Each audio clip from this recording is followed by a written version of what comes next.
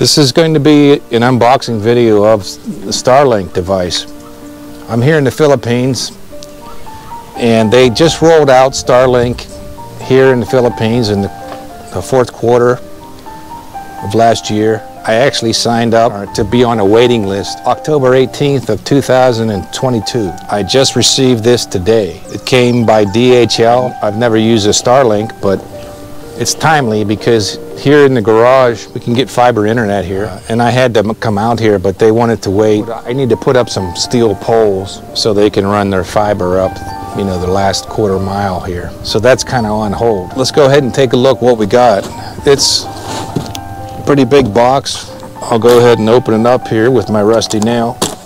Got a big cardboard cushion and it looks like the first thing I'm taking out of the box is the base of the antenna and the next thing is the actual dish which really isn't a dish from what I'm used to. You know I'm used to the old school satellite dishes and it's it's quite heavy. This is probably I don't know eight pounds. It looks like it's got quite a lot of cable with it. I'm not sure how long this is maybe 100 feet. And it looks like a micro USB connector on there.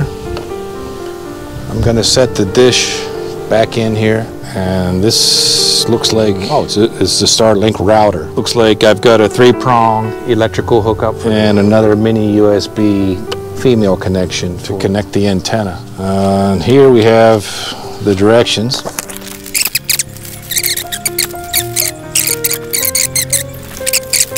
And then you pair that with the app and then know, just plug and play. Let's see if I can get this connected. So there's a keyway in the base, so you can't put it on wrong. And that just snaps right into place. I'm gonna move some things around here, and get this box off. There goes the router. So we have our dish. The damaged router. No, just kidding. Got our router right here. Get rid of that. This should be pretty simple. This is just a micro USB. Make sure you got the key right, plug right in. And then we have the power cord. They have a kind of a nice gasket here to prevent, I'm sure it's not, you know, it's not rainproof or waterproof, but it's, let's just say weatherproof plug that right in there. So stand by, I'm gonna go get some power and we'll see what happens when we plug it in. And back, we have power. Now I'm gonna use the app on my phone and see, use the Starlink app here. And then when you open the app, it says start setup. Oh, there it goes. Look, it's moving. And then it says select your Starlink. I think I've got this one here. Confirm. Check for obstructions. There are none. Tap check for constructions to find a location for your Starlink. So I'm going to check, see what happens. Starlink would like to access your camera. Okay. Find an open area, go outside where you intend to set up your Starlink. Scan the entire sky. Oh, use your device's camera to explore your Starlink's entire field of view. I'm ready. Point your camera up. This is weird. Now I'm scanning. Good thing I'm in my chair. I'm scanning the entire sky here.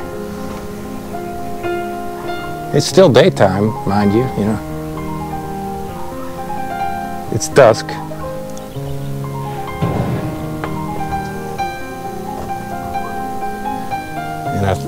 It's kind of showing me places that I missed that I'll go back. Yeah, that's weird. It shows you it shows you the parts of the sky that you missed and you go back. Now it says re view results. Now it says loading. This may take a moment the first time you open the app. The message says this is a great place for your Starlink. Shop for mounts. No, don't need that. Try a new location. Don't need that. Set up Starlink. I'm going to hit it again. Start setup. Okay, I'm going to select it again. Confirm. I have a location.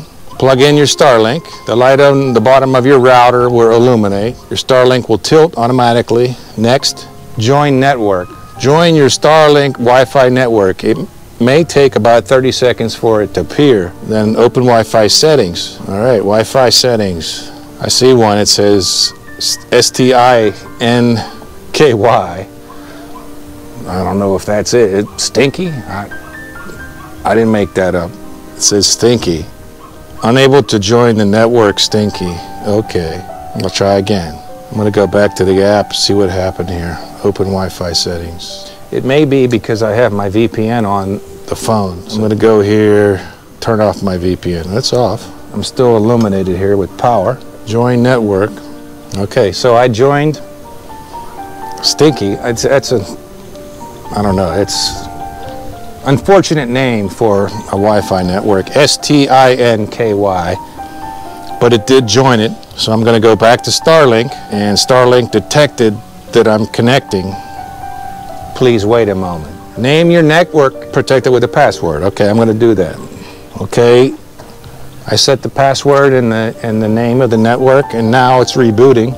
Your Starlink is rebooting to apply your network settings. This take about 30 seconds, and you can see the dish is maneuvering around 60%, 75%, 90%, 100%. Now it shows my network name and my password and it wants me to connect to that new SSID that I previously defined. And it's prompting me to enter the new password. Join. I have joined my new network. I'm going to go back to the Starlink app and see what else it says. Setup complete. It says you're all set and it has a done button. So I'm going to press the done button. Downloading update. So what I'm what I'm reading here is that it's going to check its location. It's going to calibrate its settings. It says it should stabilize within 15 minutes. And then I have a menu here of statistics, network, obstructions. I can run a speed test right from the app, uh, a settings menu, a support menu, and a shop menu. But it tells me I do have a, a good network, one device on my network at, at this at this point, which is my phone, and I'm still downloading an update. So once this update downloads, I'll come back and let you know what happens. So I was looking through some of the settings because I wasn't getting much throughput, though I was connected. So I ran through the settings and I went under advanced, and then I, I selected reboot Starlink and now I'm going to reboot Wi-Fi. Right now I'm showing Starlink is disconnected. The router is green. Okay, my Starlink came up green, my router's green, my device is green. And previously I had a address error and I checked the address and it's correct. I'm in Quezon, Philippines.